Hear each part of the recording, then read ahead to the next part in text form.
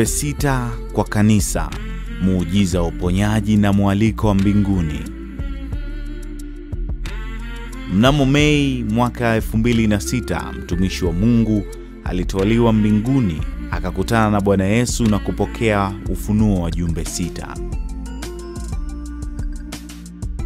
Bran Duyon mwenye umri wa miaka 52, ukabila Dusun, ni mtumishi katika kanisa la Kiinjili la Benio Kota Belud Sabahi, mashariki ya Malaysia. Kama mzee wa kanisa, aliwahi kuwa mchungaji Melakap Baru Kota Beludi, na baadaye akawa kiongozi wa kanisa la SIB Bayayati kwa mwaka 2005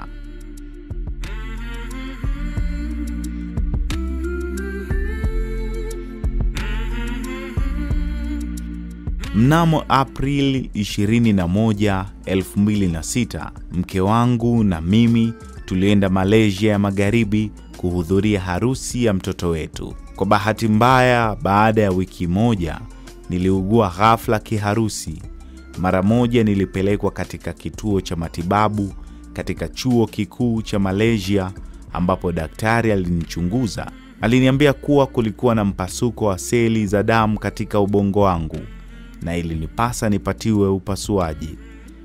Nilikuwa katika koma kwa wiki moja baada ya operesheni na kitengo cha wagonjwa mahututi kwa mwezi mmoja zaidi. Kulikuwa na watumishi wengi wa Mungu ambao walikuja kunitembelea na kuniombea. Ilikuwa ni pamoja na SIB Sabahi, rais wa zamani mchungaji Taipin Melidoi, msaidizi wake mchungaji Datuk Arun Selutani na mchungaji Michael. Niliota mvua kubwa ikininyeshea juu yangu. Nilitafsiri hii ni kama majibu ya Mungu kwa wachungaji waliokuwa wakiniombea afya yangu. Mungu asifiwe. Kwa nguvu zake nilipata nafuu mapema kuliko ilivyotarajiwa. Usiku mmoja wa manane, wiki tatu ya Mei 2006, nilihisi ajabu sana. Sikuweza kulala wakati wagonjwa wengine walikuwa wamelala fofofo. Wakati huu nilikuwa nawaza juu ya Yesu tu. Nilikumbuka katika kitabu cha Isaya 43 na ule mstari wa 26, unikumbushe na tuhojiane, eleza mambo yako upate kupewa haki yako. Niliendelea kufikiria maneno haya kwa sababu nilitaka kuweka mawazo yangu tu juu ya Yesu. Niliweza kuhisi uwepo na nguvu za ajabu kwa wakati huo. Kisha nikaanza kuomba katika Roho. Baada ya kuomba, nilijaribu kulala tena, lakini sikuweza.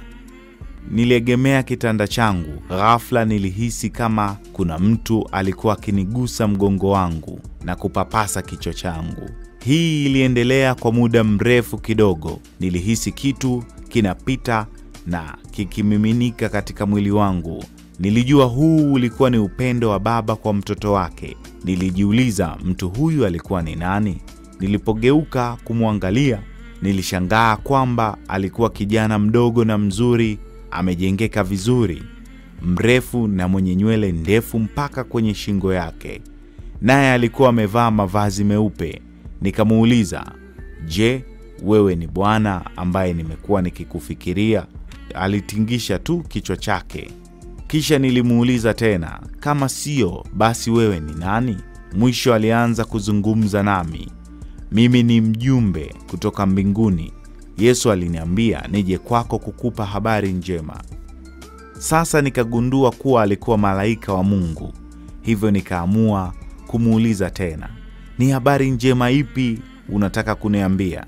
Akajibu, siku wa leo tutakwenda mbinguni.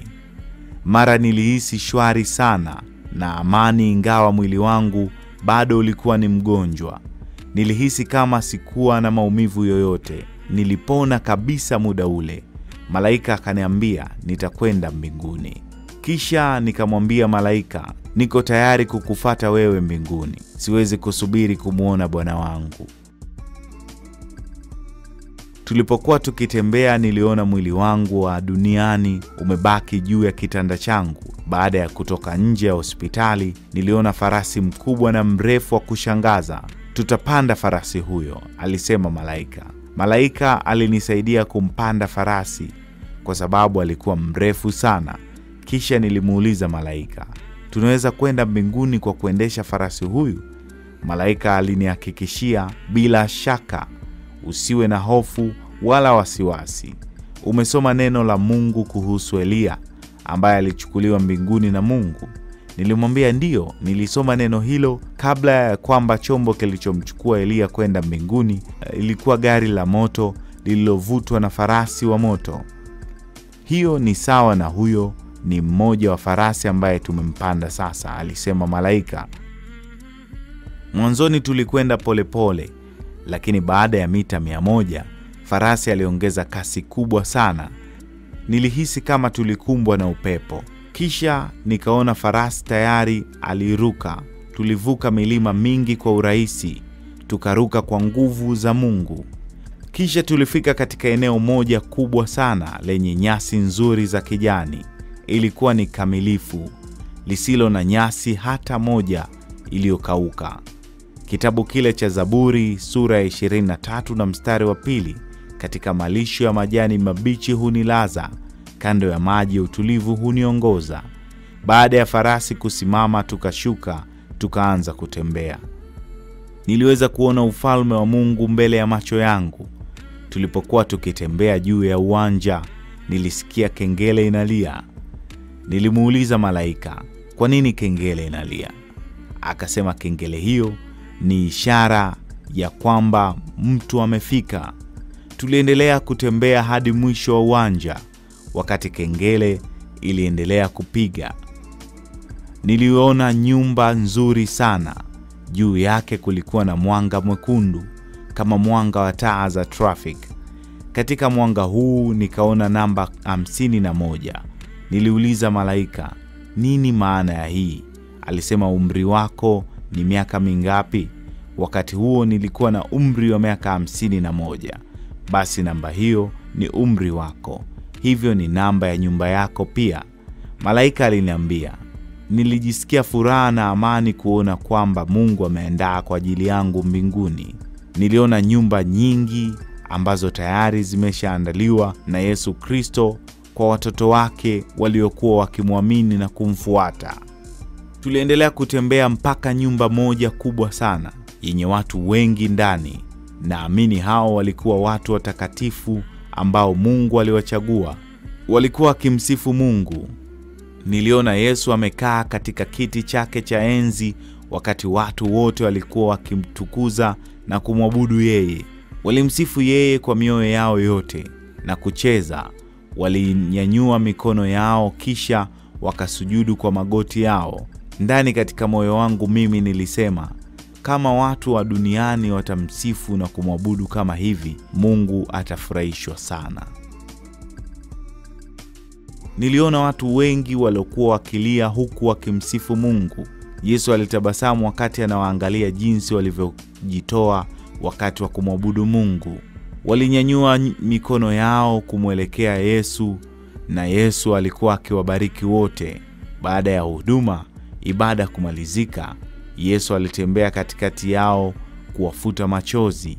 Hapo nilikumbuka mstari katika kitabu kile cha Ufunuo: hakutakuwa na kifo tena, hakutakuwa na huzuni wala kilio wala maumivu. Malaika akanileta kwa Yesu. Malaika alizungumza na Yesu, Bwana, huyu ni mtoto wako ambaye umemchagua kuja hapa. Kisha Yesu akaniambia, ni vyema mwanangu, umekuja leo. Kisha Yesu akanikumbatia. Hii ilinifanya niwe na furaha sana na amani kiasi kwamba nililia. Nafsi yangu iliruka kwa furaha kwa sababu Yesu mwenyewe alinikumbatia. Malaika akasema, Bwana, nilikwenda nyumbani mwake duniani wakati alipokuwa mgonjwa, hata sasa yeye sasa ni mzima. Yesu akajibu, ndiyo, nilisikia na kuona kilichotokea kwake. Malaika aliendelea, wakati huo nikamsikia mke wangu anaomba msaada wako. Aliomba, Bwana, tusaidie tafadhali, usimchukue sasa, sababu bado hatuko tayari kwa yeye kutuacha bado. Hayo yalikuwa ni maombi yake Bwana. Yesu akasema, najua kila kitu. Mke wake ni mwanamke mcha Mungu, yeye ni mwaminifu kwangu na mwenye bidii katika maombi. Nafsi yangu ililia tena ikifikiria uaminifu wa mke wangu kwa Mungu. Kisha Mungu akasema nami, mwanangu, utakwenda tena duniani, kwa sababu si muda wako bado wa wewe kuwa hapa. Kuna mengi ya kufanya wakati utakapokwenda duniani. Utakuwa na kazi sana ya kumtumikia Mungu. Kisha nikajibu, Bwana, tafadhali usinitake mimi nirudi tena duniani, kwa sababu mimi nina amani sana kubaki nawe hapa. Najisikia furaha kuwa karibu na wewe Bwana. Tafadhali sitaki kurudi duniani. Yesu alikuwa na ujumbe kwa ajili yangu kuuleta duniani. Yeye alinitaka mimi niwaambie ujumbe huu watoto wa Mungu walioko duniani. Jumbe hizi ni muhimu sana kwa wao kujua, alisema Yesu. Niliambiwa kwamba nitakuwa na kazi kubwa sana ya kupeleka ujumbe huu. Yesu pia alitaka niwaeleze uzoefu wangu wa mbinguni watoto wote wa Mungu ili wabarikiwe na kuhusisha nguvu zao kumfuata. Yesu alihuzunishwa sana, kisha nikamwomba msamaha kwa sababu ilikuwa nimemuudhi. Nikasema, Bwana, mimi niko tayari kwenda tena duniani, lakini tafadhali nisaidie Bwana, nipe nguvu, uwe nami kokote nitakapokwenda, uwe pamoja nami Bwana. Ndipo Yesu akasema, ndiyo, usiwe na wasiwasi. Popote utakapokwenda kunitumikia mimi, nitakuwa pamoja nawe daima. Yesu alizungumza nami, utakapokwenda duniani waambie watoto wangu wote ujumbe huu. Kulikuwa na jumbe sita ambazo Yesu alikuwa amenipa. Ujumbe wa kwanza, waambie watoto wangu ni lazima kuamini katika mimi kwa moyo wao wote, nguvu zao zote, akili zao zote. Wale ambao wana wasiwasi na mashaka hawatafika hapa, alisema Yesu. Ujumbe wa pili, waambie watoto wangu ni lazima wawe waaminifu katika kuja kwenye ibada kanisani, kwa sababu wakati huo nitaangaza juu ya nyuso zao na wao watautazama uso wangu. Nitapendezwa sana kuona watoto wangu wakiniabudu katika kanisa, alisema Yesu. Ujumbe wa tatu, waambie watoto wangu ni lazima wawe waaminifu kuomba, kufanya matakwa yangu na kuishi kwa maneno yangu, alisema Yesu. Ujumbe wa nne, waambie watoto wangu ni lazima kuwa watiifu katika kutoa fungu la kumi na sadaka, alisema Yesu. Yesu alipokuwa ananipa ujumbe huu alisema, mtoto wangu, angalia pale. Alinionyesha nyumba nzuri ambazo zilikuwa tayari kwa ajili ya watoto wake. Mwanangu, nyumba hizi ziko tayari, nimezitayarisha kwa ajili ya watoto wangu wote wanaoniamini na watiifu kwangu. Kisha akanionyesha nyumba zenye mapungufu. Niliuliza, Bwana, kwa nini nyumba hizi bado hazijakamilika? Bwana Yesu alisema, mwanangu, nyumba hizi ni mali ya watoto wangu ambao hawakutoa fungu la kumi na sadaka kwa moyo duni usiokunjuka. Hizi nyumba zitakuwa tayari kukamilika baada ya watoto wangu kutoa fungu la kumi zaidi na sadaka katika nyumba yangu. Ujumbe wa tano, waambie watoto wangu ni lazima kwa maombi waweke mali zao zote kwangu kwa ajili ya ulinzi na baraka wakati wanapokuwa duniani, ili kwamba nitakapokuja duniani kwa mara ya pili hawatakuwa wameshikamana na mali zao za duniani. Kumbuka hadithi ya mke wa Lutu, alisema Bwana Yesu. Ujumbe wa sita, waambie watoto wangu ni lazima wawe tayari na, na tahadhari kwa sababu mimi nitakuja hivi karibuni mapema kuliko watu wanavyotarajia, alisema Yesu. Kuja kwa Yesu hakujulikani, lakini unyakuo hakika utatokea. Bwana Yesu atakuja hivi karibuni. Wakati Yesu ananiambia ujumbe wa sita, Alinionyesha anga, lilikuwa wazi, hakukuwa na mawingu. Niliona Yesu akifungua mikono yake duniani na aliongea, niko tayari kuchukua watoto wangu. Kisha nikaona watu wengi waliokuwa wamevaa nguo nyeupe wakiruka juu katika anga kukutana na Yesu. Walikuwa wamekusanyika upande wa kushoto na wa kulia mwa Yesu. Watu ambao waliamini katika Yesu walinyakuliwa. Aidha, niliona ndugu wote wa familia nyingi walinyakuliwa. Niliweza kuona mume na mke na watoto wao wakiruka kumwelekea Yesu. Nilijisikia amani kuona tukio hilo. Kisha Yesu alinisisitiza, angalia chini. Kisha Yesu alinionyesha hali ya dunia. Ilikuwa machafuko sana. Hakukuwa na amani duniani wakati huo. Niliona watu wakikimbia kila mahali na walipiga makelele. Wazazi walikuwa wanatafuta watoto wao na vijana walikuwa wanatafuta wazazi wao. Yesu alinionyesha kanisa katika mji wangu. Nilijisikia huzuni kwa sababu kulikuwa na baadhi ya watu walioachwa nyuma. Kisha Yesu akaniambia, uwe mwaminifu kwangu. Ni lazima ufike mambo yote hayo ambayo umeona na kuyasikia kwa watoto wangu duniani.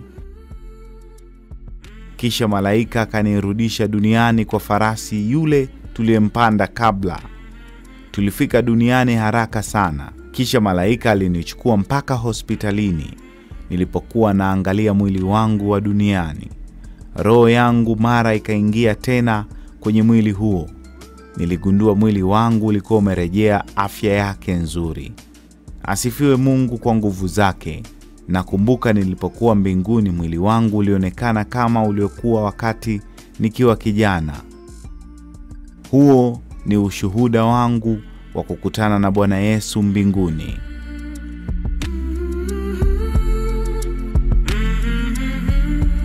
Ushuhuda huu umetafsiriwa naye Peter Kahale, nami ni msimliaji wako Eric Audax Nego the Best, lakini mwandaaji wa ushuhuda huu ni Jacktan Msafiri anayepatikana kwa simu namba 0766 29 43 35 ama 0784 07 44 62. Unaweza kutumia namba hizo pia kuchangia sadaka yako. Kumbuka, kwa ushuhuda zaidi na simulizi za kweli unaweza kuzipata kwenye mitandao yetu ya Facebook, Instagram, Twitter na YouTube kwa jina moja tu la Promova TV. Asante kwa kufuatilia. Usisahau kusubscribe, kulike na kusambaza ushuhuda huu. Uwe na siku njema.